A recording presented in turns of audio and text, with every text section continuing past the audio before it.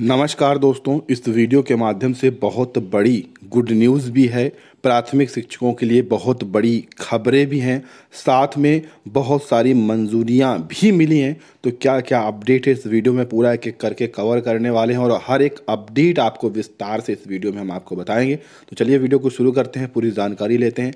अगर अभी तक आपने इस वीडियो को लाइक शेयर और चैनल को सब्सक्राइब नहीं किया है तो कर लीजिए।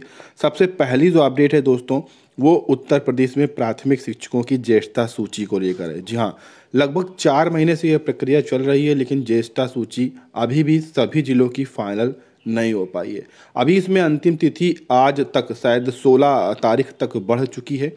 और आज तक जो 43 ज़िले बचे थे, उनको अंतिम ज्येष्ठा सूची देनी है।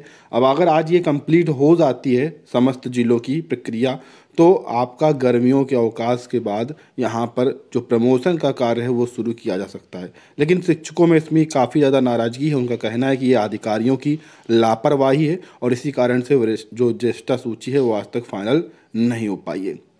वहीं पर उत्तर प्रदेश के प्राथमिक शिक्षकों के साथ समस्त राज्य कर्मचारियों के लिए बहुत ही अच्छी खबर भी आ चुकी है, क्योंकि सीएम योगी की यहाँ पर फैसला लग चुका है, भुगतान का रास्ता साफ़ हो चुका है, मंजूरी उनकी मिल चुकी है, क्योंकि राज्य कर्मचारियों का डीए अब बढ़ा दिया गया है। जी हाँ अभी तक अड़तीस फ़ीसदी डी आपको मिलता था, लेकिन दोस्तों यहाँ पर अच्छी अपडेट ये है कि उत्तर प्रदेश के लगभग 16 लाख कर्मचारियों को बयालीस फ़ीसदी डी अब दिया जाएगा। जी हाँ चार फ़ीसदी यहाँ पर इजाफा इसमें किया गया है और इस सभी का जो लाभ है, वो आपको यहाँ पर मिलने लगेगा जुलाई 2023 से। जुलाई वाले वेतन से ये प्रक्रिया जुड़कर आने लगेगी, ठीक है? और ये जनवरी से लागू किया गया है तो इसका जो भी होगा, अलग से वो बन के आपको मिलेगा। वहीं पर प्रधानमंत्री रोज़गार मेला के तहत प्रधानमंत्री जी, आज इकहत्तर हज़ार युवाओं को नियुक्ति पत्र सौंपेंगे। जी हाँ विभिन्न विभागों में और 45 जगहों के माध्यम से, वीडियो कॉन्फ्रेंसिंग के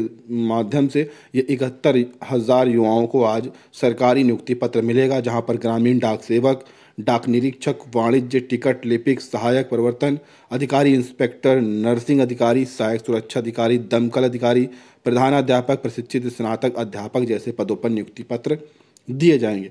वहीं पर बेसिक स्कूलों में नए सिरे से बेसिक शिक्षा सचिव का आदेश आया है कि 20 मई से गर्मियों का अवकाश रहेगा और 15 जून तक यहाँ पर रहेगा। जी हाँ काफ़ी ज़्यादा अफवाह का माहौल था कि आज से ही अवकाश यानी 16 मई से शुरू हो गए, लेकिन ऐसा नहीं है। 19 तक विद्यालय खुलेंगे और 20 तारीख से 15 जून तक ये अवकाश घोषित किया गया है। तो ये कुछ महत्वपूर्ण अपडेट थी। अगर वीडियो को यहाँ तक आपने देखा तो आप सभी का धन्यवाद। चैनल को सब्सक्राइब भी कर लीजिएगा।